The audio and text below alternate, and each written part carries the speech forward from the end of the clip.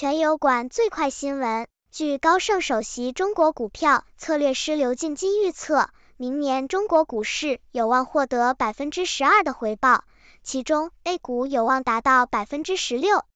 刘进金认为，中国股票估值处于历史低位，具有较大吸引力。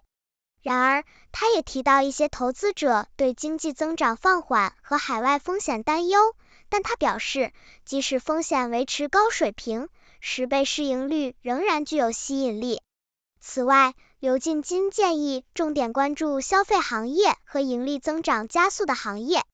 在二零二四年展望中，高盛维持内地 A 股的增持评级。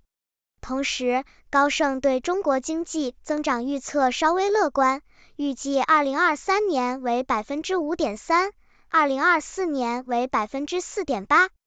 高盛首席中国经济学家闪辉也表示，全球经济趋势与美国相似，经济没有进入衰退的迹象，对美国经济和全球经济持相对乐观态度。订阅新闻极速递，最先知晓天下事。